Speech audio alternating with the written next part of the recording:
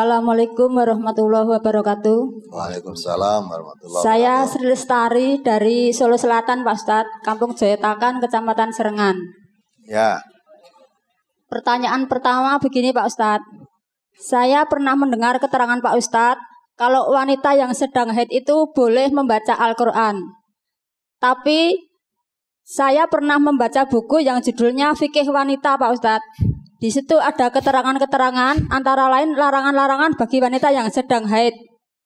Yang pertama tidak boleh sholat, tidak boleh puasa, tidak boleh tawaf. Yang keempat tidak boleh memegang atau menyentuh Al-Quran. Ya yang empat itu yang membuat saya bingung Pak Ustadz.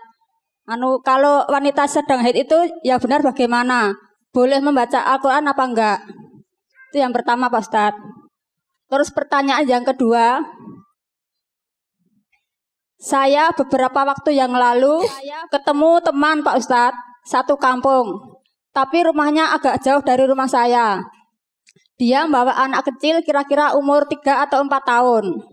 Terus saya tanya gini Pak Ustadz, iki apa anakmu mbak? Teman saya jawab, udu, iki anak si A. Yang rumahnya bersebelahan dengan rumah saya gitu. Lah si A itu waktu dia masih kecil, saya kenal, saya tahu Pak Ustadz. Terus saya tanya begini, lah si A kuwi saiki bojone wong endi, Mbak? Terus teman saya jawab gini, saiki dadi Bunda Maria, begitu Pak Ustadz. Lah saya bingung, nggak tahu maksudnya. Terus saya tanya begini, maksudnya piye Mbak? Punya anak nggak punya suami? Jawab teman saya gitu Pak Ustadz. Terus terus saya jelaskan begini Pak Ustadz. Ya orang ngono Mbak, ojo mbok padake Bunda Maria. Bunda Maria itu dalam Al-Quran wanita yang disucikan, yang dimuliakan. Allah bisa menciptakan anak ti- tidak melalui seorang bapak, cuma melalui seorang ibu Bunda Maria, yaitu Nabi Isa.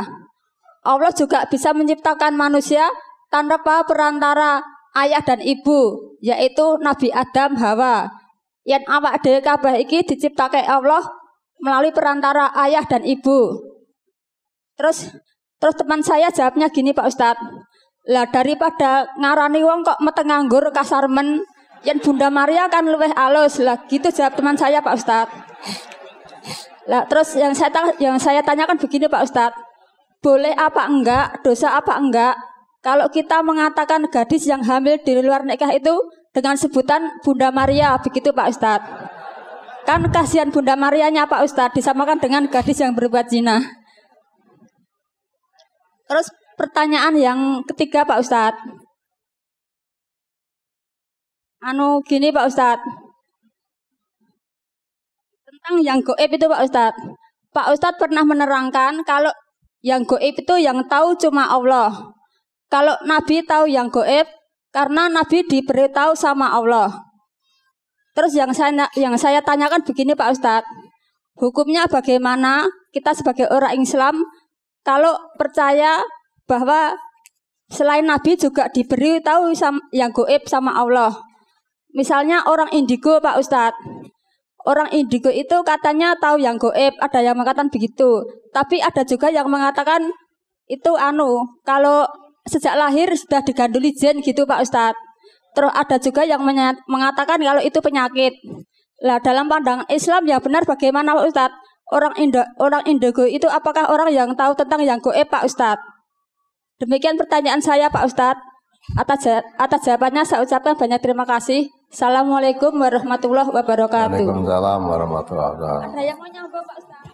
Jadi ya Ibu, beragama itu jangan hanya katanya-katanya. Ya, agama kok katanya-katanya itu tanpa dasar kebenaran. Kamu baca buku, katanya dalam buku itu orang haid tidak boleh megang. Megang pun tidak boleh Quran. Apalagi membaca katanya dalam buku lah dalam buku itu ada keterangan larangannya apa tidak ya kalau yang dalam tadi misalnya tidak boleh tawaf tidak boleh sholat tidak boleh puasa itu ada hadis-hadisnya sudah dikeluarkan ya kalau tidak dalam agama tidak melarang, jangan kita malah melarang. Ya, memegang aja tidak boleh. Ya, memegang. Ya, padahal yang tidak boleh memegang Quran dan tidak bisa memegang Quran itu siapa? Setan. La yamassuhu illal mutahharun. Tidak bisa menyentuh Quran kecuali orang yang disucikan yang dimaksud adalah malaikat. Karena pada zaman itu orang musyrik atau orang kafir menuduh bahwa Al-Qur'an itu ya dibawa dibawa dari setan bawakan kepada Nabi Muhammad diberikan pada Nabi Muhammad. Maka Allah menjelaskan tidak ada bisa menyentuh Quran kecuali yang disucikan yaitu malaikat. Ya, malaikat. Ini tidak mungkin setan bisa menyentuh atau membawa Quran, tidak mungkin. Nah, maka kalau itu misalnya orang kayak tidak boleh memegang, tidak boleh baca Quran, harus ada larangannya. Larangannya ada apa tidak? Kalau nggak ada larangannya, terus kamu melarang dari mana? Dulu ketika kita belum ngaji juga batalkan puasa itu banyak. ya toh? Selulup batal. Berkumur gosok gigi batal. Ya, gosok gigi ya batal. Ya, ngentut neng jero banyu batal. Keluar darah batal.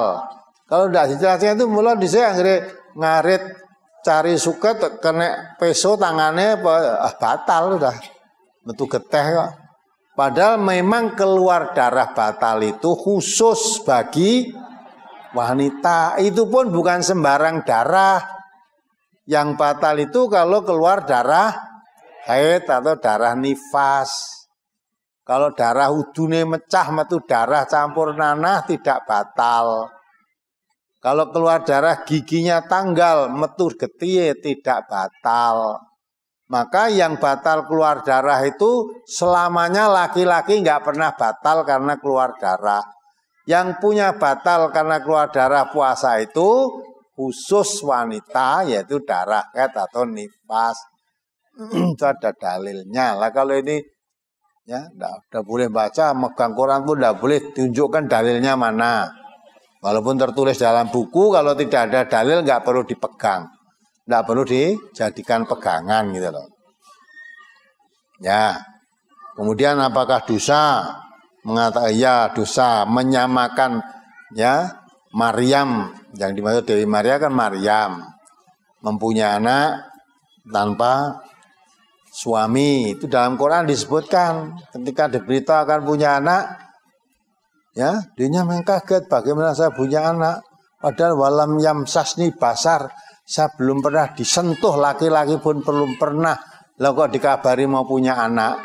Ya Allah akan memberikan kamu. Gitu. Maka kalau orang tidak punya suami atau punya anak disamakan Bunda Maria tadi ya namakan namanya menyamakan orang yang disucikan Allah dengan orang yang kotor. Ya benalus timbang ngarani meteng anggur. Ya.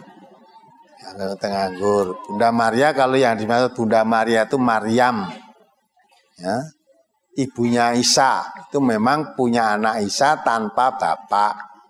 Terus ada orang meyakini karena ini anak tanpa bapak berarti Isa anaknya Tuhan. Itu juga salah.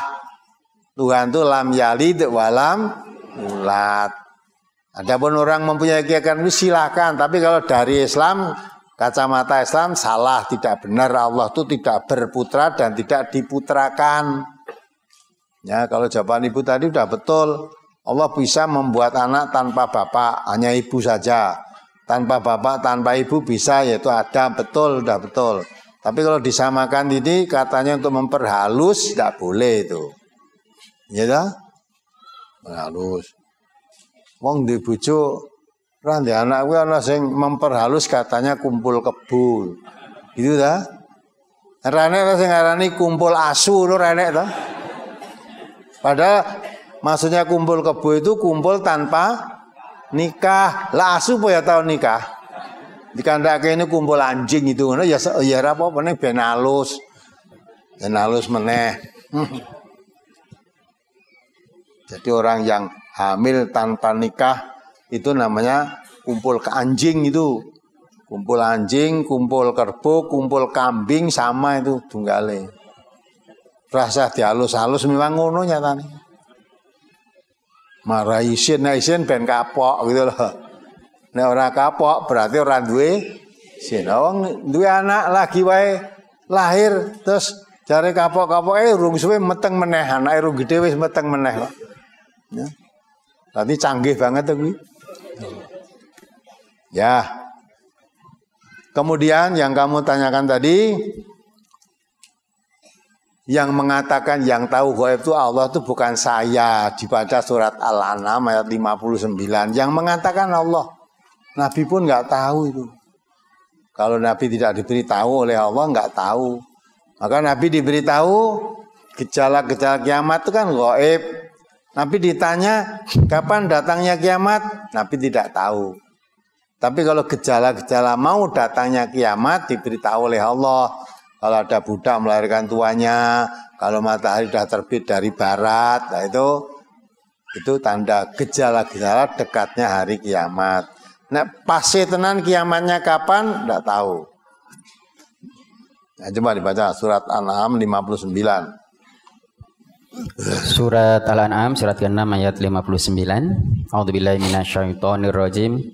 Wa indahu mafatihul ghaibi la ya'lamuha illahu wa ya'lamu ma fil barri wal bahri wa ma yasqutu min waraqatin illa ya'lamuha wa la habatin fi dhulumatil ardi wa la ratbin wa la yabisin illa fi kitabim mubin dan kunci-kunci semua yang gaib ada padanya tidak ada yang mengetahui selain dia. Ada, tidak ada yang mengetahui selain dia itu dia siapa? Allah. Semua kunci-kunci yang goib itu yang tahu hanya Allah. Tidak ada yang mengetahui yang goib kecuali Allah. Nabi pun nggak tahu. Terus? Dia mengetahui apa yang ada di darat dan di laut. Tidak ada sehelai daun pun yang gugur yang tidak diketahuinya. Tidak ada sebutir biji pun dalam kegelapan bumi dan tidak pula sesuatu yang basah atau yang kering yang tidak tertulis dalam kitab yang nyata lauh mahfud. Nah, ya. Jadi semua yang kau itu yang tahu Allah. Sampai sehelai daun pun jatuh di bumi ini Allah tahu. Padahal kalau dihitung berapa triliun daun-daun yang ada di dunia ini. Berapa triliun. Satu jatuh pun Allah tahu. Walaupun jatuhnya di malam gelap malam yang gelap betul, tidak ada sinar terang sama sekali, ya. Allah tahu. Orang bersembunyi di mana? Ya, batu di batu hitam, semut hitam. Nenggon batu hitam, peteng dedet sisa itu Allah tahu. Allah yang mengurus rezekinya. Wa ma min dabatin fil ardi illa Allah rizquha. Apa pun yang melata di bumi ini yang diciptakan oleh Allah, Allah yang mengurusi rezekinya. Itu kunci yang gaib itu yang tahu Allah. Tidak ada yang tahu kecuali Dia. Jadi kalau saya mengatakan yang gaib yang tahu hanya Allah itu berdasarkan firman Allah ayat 59 surat Al-An'am tadi. Ya, kalau ada orang tahu nanti goib, ya, tidak ada orang bakal celaka. Nabi juga begitu, anda kata tahu Nabi itu apa yang terjadi besok. Nabi tidak terjebak mengirim 70 orang mubalik akhirnya dibunuh semua oleh orang-orang munafik atau orang kafir itu. Ya, tahu. Kalau Nabi mengetahui gaib, besok akan kalah dalam peperangan, Nabi tidak akan mengirim pasukan, wong akan kalah. Nah, aja. Jadi kunci yang gaib itu yang tahu hanya Allah. Manusia tidak ada yang tahu yang gaib. Nah, gitulah. Nah, dukun-dukun barang ini mengapusi. Masa bakal terjadi begini, lah ngopo. Lane itu besok akan terjadi gerhana itu bukan masalah. Itu namanya gaib nisbi. Nisbi itu goib yang bakalnya tidak tidak goib bisa dipelajari dengan ilmu. Ya, Bisa dilihat dengan ilmu. Maka istilahnya dengan perkiraan cuaca, perakiraan itu bisa benar, bisa salah. Nanti akan terjadi hujan di sana. Berdasarkan tanda-tanda itu ada tahu oh, besok akan hujan jatuh di sana. Itu bukan goib, itu bisa dibaca dengan ilmu.